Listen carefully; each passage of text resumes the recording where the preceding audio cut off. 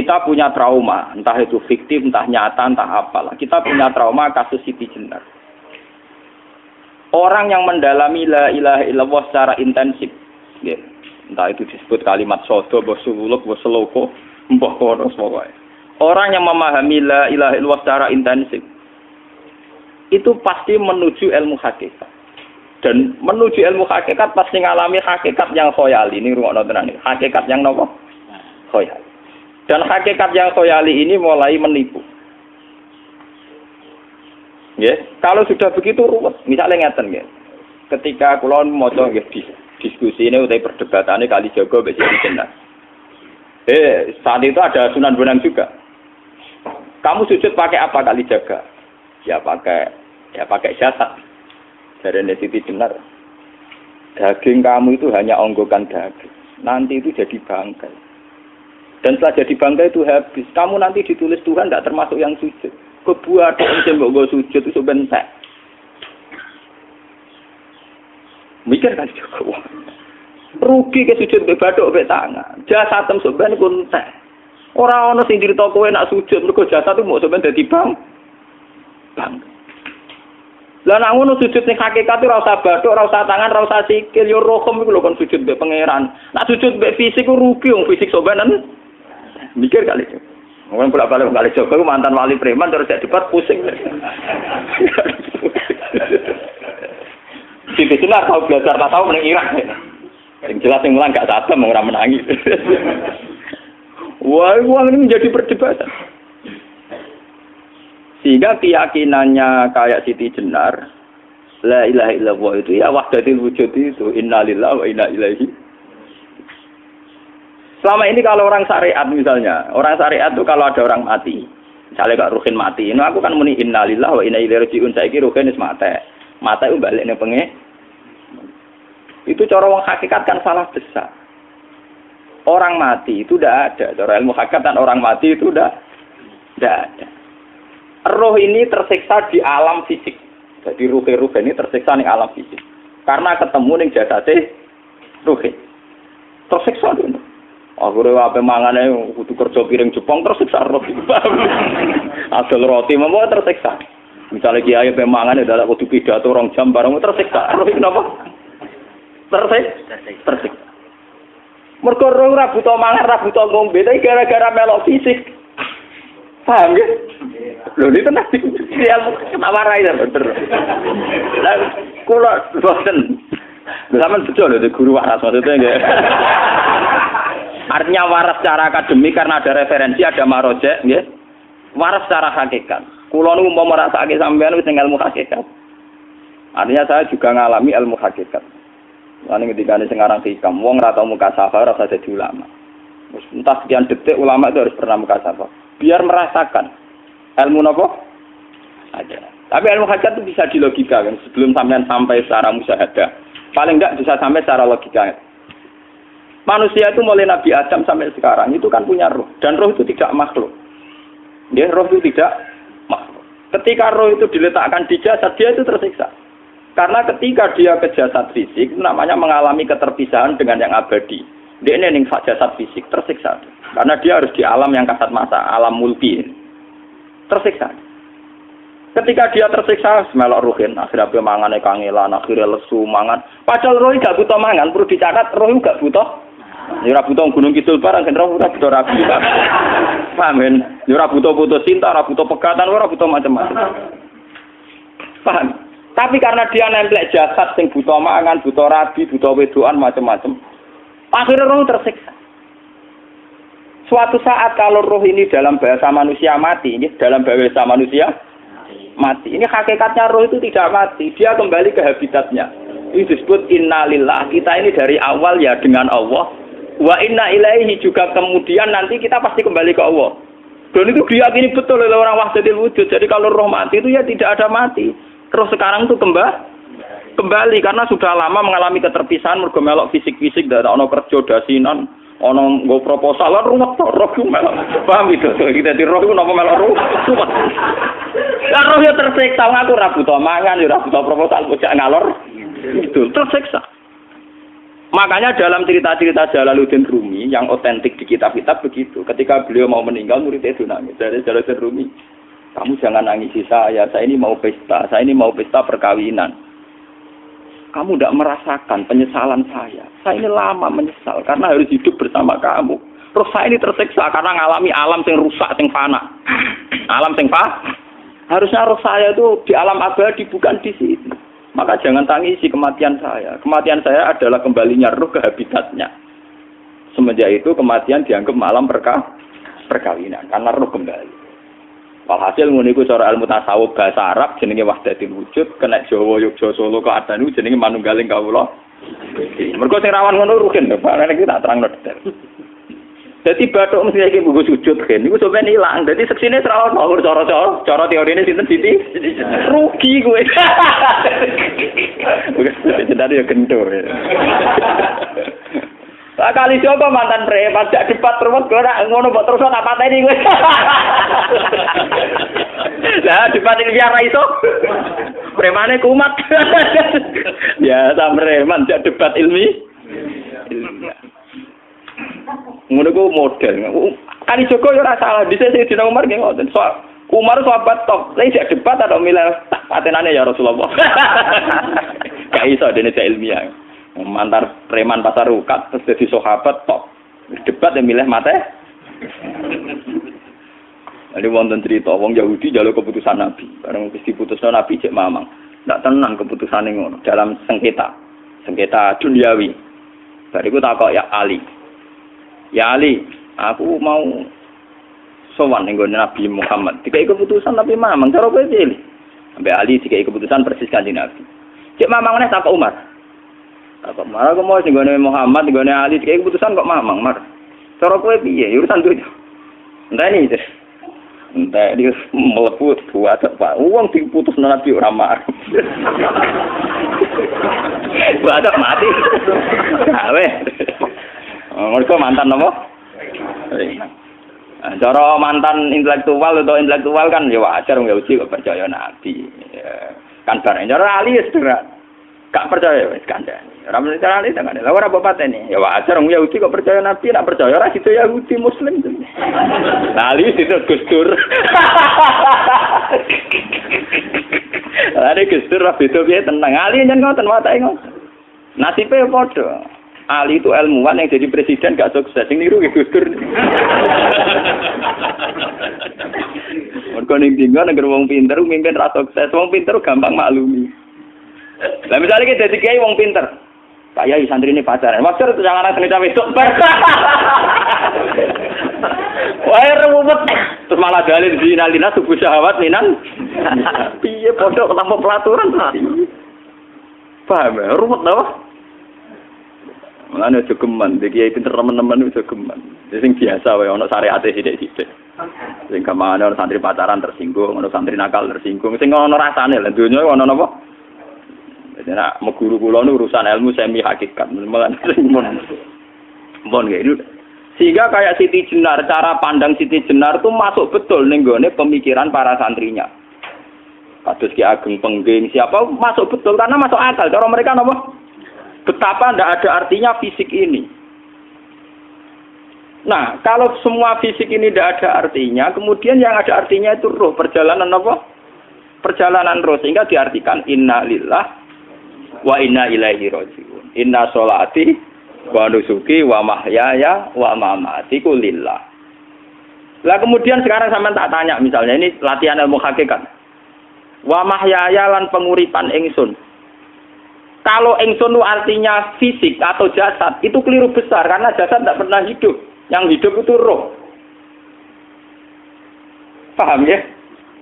Sekarang artinya wama mati itu apa? Kematian ingsun. Kalau roh itu tidak pernah mati, berarti kematian roh adalah keterpisahan dengan yang agung atau yang apa? Ada. Dan semuanya itu lillahi robbil alam. Sehingga mereka mengatakan kematian itu satu pesta. Mengenai kados Bilal ditakoi, ya Bilal, ketika murid-muridnya nangis bergape mati, Bilal ke seneng aja. Godan nalkal akhibah Muhammad dan wakisbah. Ya, anak mati malah seneng tuh ketemu kekasihku. Sebab itu kematian tidak pernah jadi problem bagi mereka sing soleh. sing menembus ilmu hakikat. Paham? Tapi ilmu hakikat kayak ini itu yang diyakini Siti Jenar, diyakini Jalaluddin Rumi, diyakini para wali-wali wahdatil wujud. Dulu Syekh Husain Sinten al-hal al-halal. Itu kemudian melahirkan prahara syariat. Prahara apa? Syariat. Sebab itu wali songo. Oke, Siti Jenar benar dalam filosofinya, tapi harus dibunuh. Karena menjadi prahara syariat. Sama dengan yang dikatakan Nabi itu benar, tapi menjadi prahara syariat. Akhirnya disomasi oleh Umar radhiyallahu Jadi sebetulnya sama, pola-pola ceritanya sama. Intinya sebuah ilmu hakikat harus dikawal nopo syariat. Nggih kula bolak-balik. Contoh paling gampang wit pisang. Wong nak mangan gedang kulitnya tetap dibuat. Tapi umpama gedang dari awal ora usah kulit, ras itu jadi gedang. Paham nggih? Meskipun kon apa dipangan ya dibuat. Tapi kita tidak bisa membayangkan pisang dari awal tanpa nopo. Mbah kekeringan, mbah bosok, mbah ra sido dadi nopo? Pisang. Terus pentingnya syariat lagi begini, gitu. malah nih penting ngaji wali-wali syariat yang pinter kados Sunan Kudus, kados Sunan Bonang. Andai kan tidak ada syariat itu dunia pun mesti rusak. Contoh paling gampang masalah pornografi, porno aksi. Jadi jenar dia omongi ngono ibu ngakak-ngakak deh. Dari pangeran wis pirsa. Kowe nek klambi pangeran roh ora tentu ora ya roh ya rasa klambenan. Wong ora ana gunane. Kalau yang paling penting ku ruwah, kenapa kowe klambenan barang? Wong kowe klambenan ora pangeran tetep pirsa. Nyatane si, si jenar nak mulang nggih coba klambenan lah intine napa? Dinya ada nabi senan pun. Nah, aku percaya kabeh ruwah ora usah napa? Klambenan. Tetapi teori rasa kelambenan itu dinggo tenan. Mulane nek pas wiridan aliran sesat ciri utama. Kira kelambenan tenan. Lah ruwet to. Lho iki tenan iki cerita. Ini pentingnya ngaji ya. Ben sampean ngerti variasi riwayat kemudian kita orang syariat harus kayak apa, kemudian kenapa menjadi aliran wahdatil wujud. Lah terus kita kita ini ya, kita kita ini kan orang syariat. Memang orang syariat itu akeh kok sampean-sampean. Siji mesti ra kramat. Modele ora di dhuwit ya bingung. Rumet. Urip syariat lho apa? Dineng bojo wedi, dineng tangga wedi, pengaruhnya menurun. Pancen orang syariat itu banyak kriminal tauhidnya itu memang jelas. Melani kiai kiai peke nak ketemu kiai kiai sing setengah jaga peti mergo iso nebak atine. Ndekne meriang langsung. Sing kiai ra tau salat keramat padahal ngambungan wong. Sumudina sholat pas waktu kok ora tahu keramat. Wong buah utang tanggane iku keramat apane? Sing kono ngawar ngawur sowan pirang.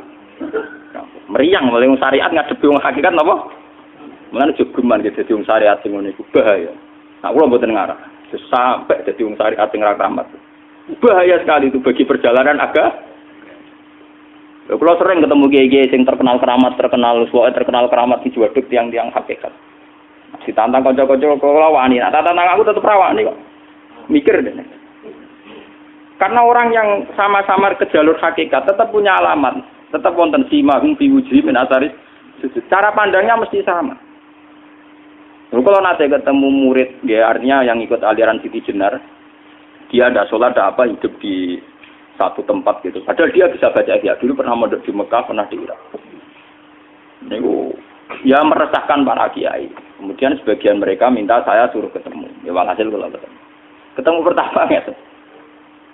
Jenis Gus Ba, tapi zaman jenengku itu pernah tak arani muka sapa. Gak biasa mawon. Kalau lara usah kenal jenengan gak kenal. Jadi loh biasa mawon. Lalu pernah ngajar ajaran nih. Saya lagi Gus Gus ning dunia tak ini mau turun tani mati, nih Gus Gus kok repot. Jawaban kula terus ya. Sampai ada wong hakikat wong ngenteni mati barang. Ya mati yo saiki iku. Rasa ngenteni saiki padha-padha wis napa? Wis mati. Ya saiki wis padha-padha wis urip. Wis padha kabeh. Nah cara ilmu hakikat kan terus sama semua. Napa? Sama semua. Tadi makanya itu tadi. Kalau baleni lagi, logika hakikat itu begitu ya. Roh itu ditiupkan oleh Tuhan ke kita. Kemudian roh karena ikut alam fisik, alam jasad, roh ngalami yang kita alami. Yeah? Ketika roh ngalami yang kita alami, dia tersiksa. Nah, ketika roh sudah terpisah dari jasad yang mengekang, yang memenjara ini, dia senang terus kembali ke Tuhan. Ini disebut innalillah wa inna ilaihi. Lah jasad ini kemudian menurut ilmu hakikat gak ada gunanya sama sekali total. Hilang di telan tanah. Lah kalau begitu jasad iki nak mbok agul-agulan. Gusti bathuk kula tak nggo sujud tangan kula ndi buktine tangan wis ora ana. Bathuk wis ora. Mulai dari Siti Jenar, hanya wali bodoh kayak kalian yang punya ajaran bodoh begitu. Malah rasupan terus. Mulane Sunan Kalijogo semangat kon mata ini mergo tambah omongane glodro dindi. Tapi yang nggak disadari Siti Jenar yaitu tadi. Inti dari ilmu hakikat itu kan tunduk sama kersane Tuhan. Kalau sudah tunduk pada kersane Tuhan, kalau kersane Tuhan roh kita harus dijasad. Dan wujud jasad kita ini juga karena kehendak Tuhan. Kenapa yang wujudnya jasad yang karena kehendak Tuhan engkau ingkari? Sementara wujudnya roh tidak kamu ingkari. Toh wujudnya jasad ya bi wa bi masyiatillah. Wujudnya roh ya bi wujud bi wa iroh Harusnya fungsi jasad juga harus kamu akui toh Siti Jendar. Wong sekarang kita punya jasad ya bukan karena kita, karena kehendak Allah. Kenapa kamu ingkari? Berarti kamu ingkari kehendak menang Siti Jendar.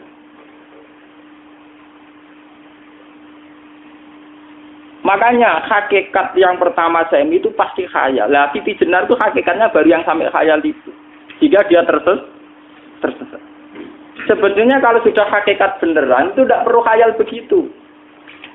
Artinya perlu khayal jasa kita sing senajan ora ana gunane ini. Tetap ya wae wujudnya karena kehendak Allah. Juga kita harus terima. Apa pun kekurangannya, apa pun kenaifannya, ironisnya harus kita terima. Ini sebagai bentuk penerimaan kita pada masih adil, masih adil. Begitu juga keadaan roh kita sebagai penerimaan atas masih adil. Meskipun ada teori-teori roh yang lebih valid. Lebih valid misalnya begini. Kaji Nabi itu suatu saat ininya terputus karena perang Uhud. Itu kaji Nabi dia dolanan dia dolanan dirijine ini. Napa cara napa jari jemari ini Nabi putus. Iki dolanan. Jadi Nabi sendiri kadang sering ngajarkan ilmu hakikat. Hal lagi illa usbun udmiyat wa fi sabilillahi ma itu. Kowe terima fisik bentuk fisik jari jemari sing ditetir berdarah. Tapi nak kue kue fisabilillah ayo wes balik ning gabi datem. Sehingga kenapa para sahabat itu ketika dicincang, ketika putus tangannya, putus kakinya, sahabat yang usul ke ilmu hakikat itu malah senang. Karena jasad kita ini kan ilah sabilillah menuju jalan Tuhan. Sekali dia sudah terluka fisabilillah itu sudah menemukan formatnya. Cara teori Cina bisa menemukan formasinya. Paham gitu? Orang kok malah ngeluh itu berarti goblok nak ngeluh paham no? Paham ini apa?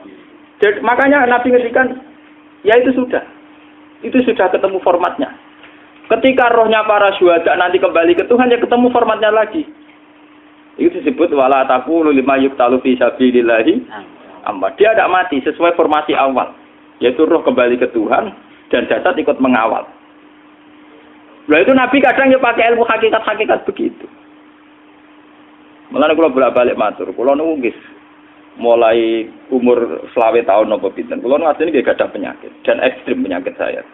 Sampai saat ini kalau nak ngobat no tidak lebih 50 persen, karena saya tetap berpikir. Misalnya cara syariat kan berubah, tapi cara hakikat apa betul keberadaan saya di alam ini penting? Sehingga aku kepengen urip tak bila-bila ini ngantek anda atusan juta. Jangan-jangan penting mati ikuti bang urip. Lah ngono apa tak bila-bila ini? Entek atusan juta.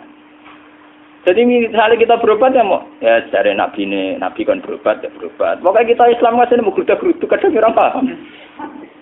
Sekali kamu mengamati dengan sisi hakikat, Lalu coba sekarang sampean pikir, coba sekarang nggak pakai logika hakikat, pakai logika syariat saja.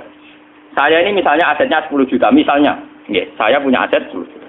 Tapi misalnya aku rugi nawan atau dipengaruh di masa depan sama Kalau pulau kan sama cara teori di masa Misalnya kulo ruhin, artinya kere di duit 10 juta aset.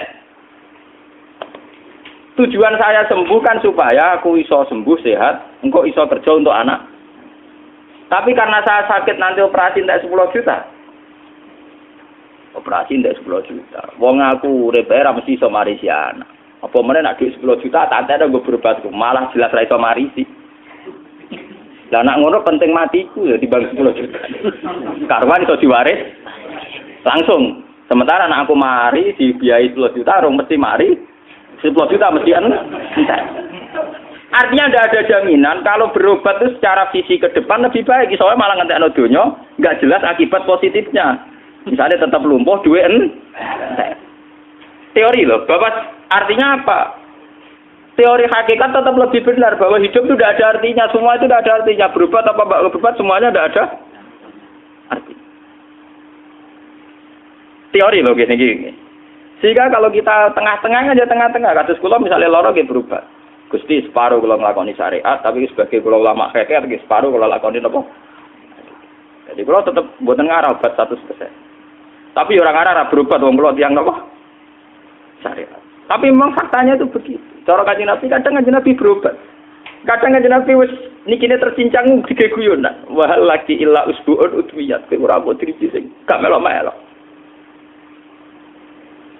Nah, bukti bahwa jasad ini begitu tidak penting. Kayak Said Hamzah. Menurut Said Hamzah menganggap wahyu bentone ra karuan. Kalau teori Siti Jenar itu benar, teori Jalaluddin Rumi benar, benar teorinya ya orang kok rasolate lho, maksudnya kena nganut rasolate. Benar cara analisis roh. Ketika Sayyid Hamzah dinyatakan mati oleh manusia, oleh hukum manusia dinyatakan mati karena dia sudah tidak bergerak. Dalam teori hakikat kan rohnya Sayyid Hamzah sudah fi khawasili tuyurin khudrin. Rohnya sudah diambil Tuhan, tidak mati. Paham ya? Ketika rohnya Said Hamzah sudah diambil, jasad ini sudah tidak punya rasa. Sekarang secara syariat kasat mata kita tahu, wong jasad nak diinfus, saya di sayat-sayat dioperasi orang kro, orang kroso. Apa mana saya ruhe wis bisa. Lah ya jasad itu cek gampangnya di nopo dioperasi dibius saja terus tidak kerasa. Apalagi rohnya sudah diambil. Nah saya ini bayangkan, ketika Sayyid Wahsi, Sayyid Hamzah itu sudah di atas, ini kira-kira dulu Wahsi wong bentuk. Lho wong kok baca igabus. Ketika jasad benar-benar tidak penting, kemudian jasadnya saya Hamzah kan dicincang oleh Wahsi. Ketika rohnya sudah diambil kan Hamzah tidak merasakan. Berarti saya Hamzah guyu-guyu Wahsi. Wahsi cek pintu nih, gabus itu dicincang. Paham ya? Lho ini kita Artinya ketika pandangan manusia iba kepada Said Hamzah karena dicincang, dimutilasi oleh Wahsi. Wahsi tidak ngalami Pak Sinter, Said Hamzah tidak ngalami apa-apa karena rohnya sudah bersama Tuhan. Dan iso wae Said Hamzah malah guyu-guyu Wahsi. Cek goblok Gabus kok di cincang. Lah nak ngono rak mirip, makanya ge, dalam hal ini itu dalam teori roh itu sebetulnya Siti Jenar tidak sesat dalam teori roh. Tapi jangan katakan itu penemuannya Siti Jenar. Siti Jenar itu terlambat. Sebelum itu ada Husain Al-Khallas, sebelum itu ada Jalaluddin Rumi. Sebelum itu juga ada sahabat, ada nabi. Cuma cara aplikasinya Siti Jenar melenceng. Jadi jangan katakan kok tak kampus-kampus, itu pendapat Siti Jenar itu malah goblok meneng. Siti Jenar itu sanut, paham? Nggih maksud apa? Wis anut. Nah, teori yang sama terjadi pada Yesus Kristus. Ketika Yesus misalnya secara lahir dicincang, dimutilasi, diapakan oleh orang Yahudi. Sebetulnya rohnya dia sudah bersama Tuhan. Kembali ke Tuhan Bapak, nah Kristen. Nah cara Islam ya balik ini pangeran. Andikan itu iya, itu ya ada masalah. Karena hakikatnya dia tidak dicincang, tidak dibu. dibu. Adegan iya lah, tentu menurut Islam yang dibunuh Yudas atau siapa itu yang yang masuk piala. Tapi sama sebetulnya teorinya sama. Kalaupun dia ada ada masalah. Oke kalau misalnya Nabi Isa karena ada kontroversi menyangkut dia atau Yudas. Sekarang yang Zakaria dan ya ya Zakaria ya itu dicincang betul oleh orang Yahudi. Matinya dimutilasi. Tapi dia tidak apa-apa. Karena ketika beliau dicincang, rohnya sudah diambil.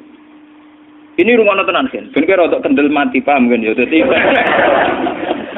maksudnya ini kalau ajari nak mati itu tidak problem. Ini kalau urip ya mati loh. Nah ini bersamaan paham ya. Kaitan la ilaha illallah ini nanti semuanya sama kaitan sama apa? La ilaha illallah. Ini nanti ujungnya sama dengan la ilaha illallah. Begitu juga seterusnya.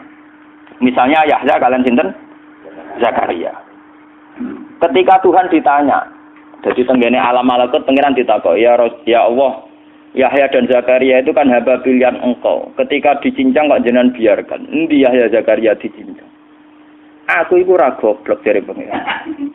Sedurunge dekne dicincang jasate ruhe tak jupuk. Dadi dekne ora krasa blas. Begitu juga yang tafsir-tafsir, sama lihat wa Maryama Sayyidah Maryam yang istrinya Fir'aun. Itu kan dia iman sama Nabi Musa Asia, ya Asia imroati napa? Fir'aun.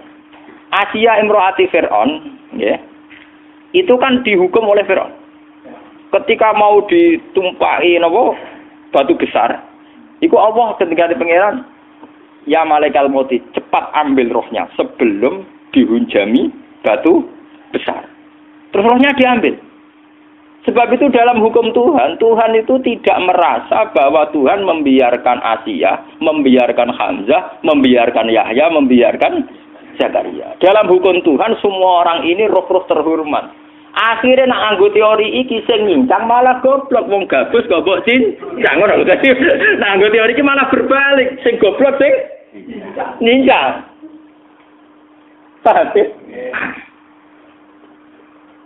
Yo wis ora kok sesuai sampean kiaskan saja. Wong dibius wae disayat-sayat gak krasa. Kaya apa nak ruhe bener-bener wis ter tercabut terpisah. Rasane ning ndi? Iku sing disebut wala taqulu lima yuqtalu fi sabilillah napa? Lah kemudian roh ini ke mana? Nah, roh itu sudah menyatu dengan kalimat tauhid. Mesti roh itu bersaksi la ilaha illallah Allah. Itu sing disebut neng alam roh ketika Allah tanya alas tu birobikum mesti kalu bala. Mesti mereka jawabnya apa? Bala. Karena alam roh tentu lebih mudah bersaksi akan keberhadiran dan keeksistensi Tuhan Allah Subhanahu wa taala. Paham ya ini sama penting. Nah, Ketika kalimat tauhid sudah menyatu kayak begini, itu mesti kalimat tauhid sing mesti langsung untuk suwargo. Itu dimaksud Nabi mustaiqinan biha kolbu mukhlison biha kolbu. Ati itu kolbu kan nggak bisa kamu artikan jantung atau liver kayak teori modern sekarang misalnya kolbun itu apa? Jadi kiai kolbun itu jantung. Nah ngono beda liver. Lah liver apa kabidun niku akal-akalan aja ora paham. Ya. Bahasa kolbun, fikrun, aklun itu sesuatu yang mis misteri. Lah, roh ini kemudian dengan kalimat tauhid sudah menyatu disebut mukhlison biha kolbu. Ada tingkat kemurnian hubungan roh dengan kalimat tauhid. Lah kalau begitu pasti dakhalal jannah. Karena tidak mungkin kalimat tauhid kok dinera dinera. Lah ini mau masalah-masalah hakikat. Uang sing gak tahu petualangan hakikat, mau sing sering bingung bakas duit bayar kredit utang jatuh tempo. Orang sampe lo mikir, utang kamu sentak gue mikir du, duit.